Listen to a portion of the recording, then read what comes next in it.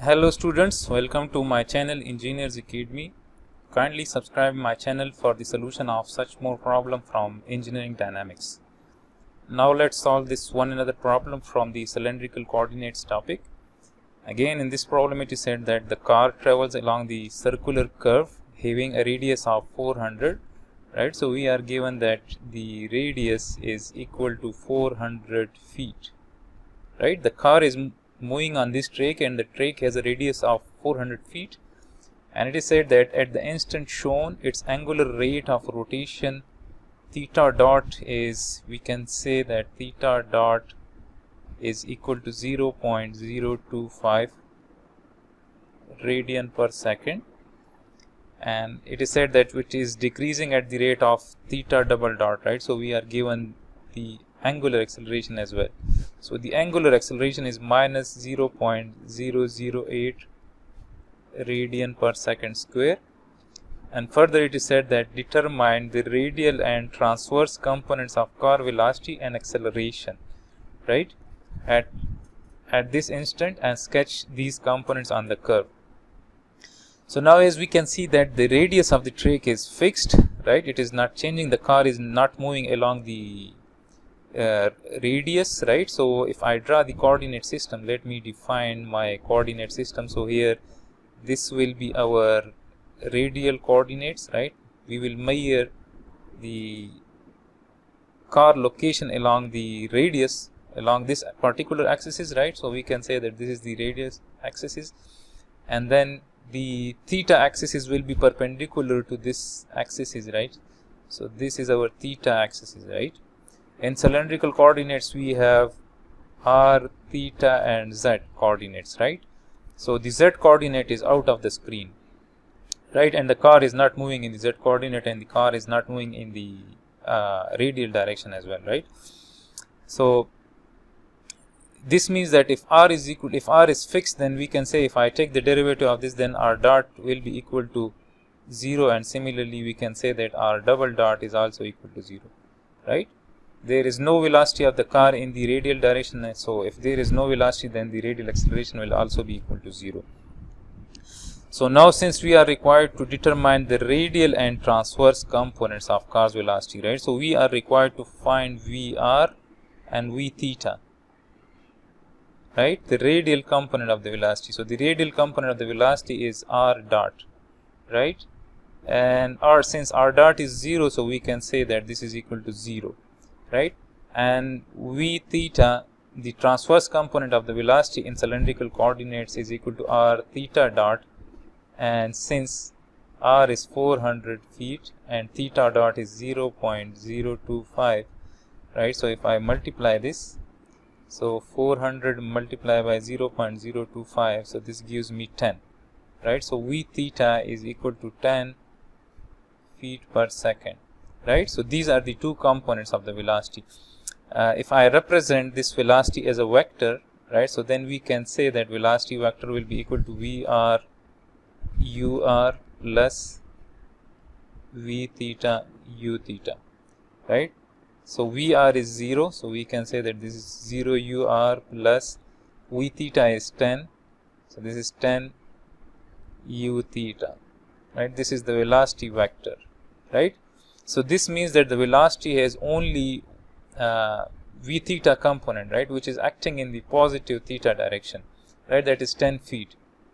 So now we can represent that, right. So this is the velocity v theta component which is acting in the positive u theta direction, right.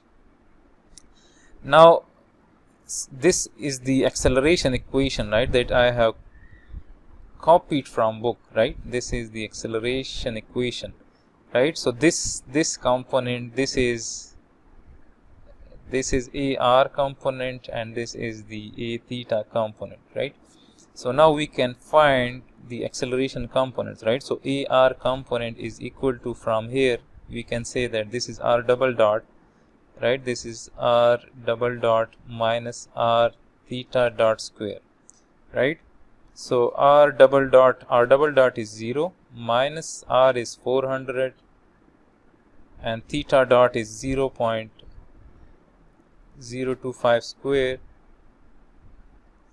So this is 400 into 0.025 square and this gives me 0.25 right? So and this is minus so this is minus 0.25 radian per second square and this is AR right? And similarly we can find a theta. So a theta is from here we can say that this is r theta double dot plus 2 r dot theta dot right? So again r is 400 and theta double dot is minus 0.008 and since r dot is 0 so this whole term will become 0 right? So we are left with this. So this is 400 400 into 0.008 so this gives me minus 3.2 right? So this is plus into minus so this is minus 3.2 radian per second square right? And if we if we want to write the acceleration vector so the acceleration vector will be equal to ar ur plus a theta u theta. And similarly ar is minus 0.25 ur and a theta is minus 3.2 u theta so now the acceleration has two components and one of its component is ur which is acting in the negative r direction right? So one of the component is acting in this direction. This is ar and then there is one another component a theta which is also acting in the negative theta direction. So this is positive theta so then this is the negative theta direction like this. This is a theta right and the resultant of both of these that a vector will be acting in this direction like this somewhere here like this. This is that acceleration vector. So this is the solution of this uh, simple problem. I hope you people would have understood this particular problem. Now this is one another problem very similar to that previous problem right? And again uh, we are given that car which travels along the radius uh, circular curve of radius 400 so again we can say that the radius is 400 feet.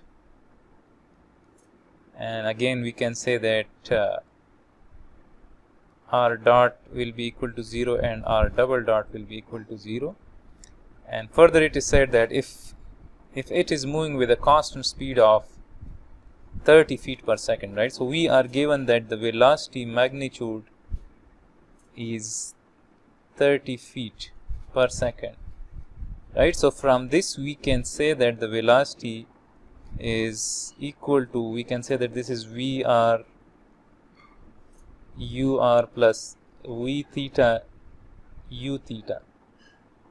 And we are given the velocity magnitude right? So now from this we can say that the velocity magnitude will be equal to if we use the pythagoras theorem so then this will be equal to the velocity magnitude. And the velocity magnitude is given as 30 right? So in this equation if i put velocity equals to 30 so this is vr square plus v theta square. And this will be equal to if i remove this square root then this will be square. So then we can say that this is 30 square right? And as we know that vr is equal to r dot and v theta is equal to r theta dot right? So since r dot is 0 right from here so this means that vr is equal to 0 and then from this equation we are only left with v theta. And v theta we can write that v theta is r theta dot whole square. And this is equal to 30 square. And if I take square root on both sides so we will be left with this r theta dot is equal to 30 so we can find theta dot right? So theta dot is equal to 30 divided by r and r is 400 right? So in the problem we are required to determine the angular rate of rotation of the radial line and the magnitude of the car's acceleration right? So we will know this theta dot right? So theta dot is this is 30 divided by 400 so this is 0 0.075 we can say that theta dot is 0 0.075 radian per second. And now once we know theta dot right? So if I take double derivative of theta dot then this means that theta double dot is equal to 0 right?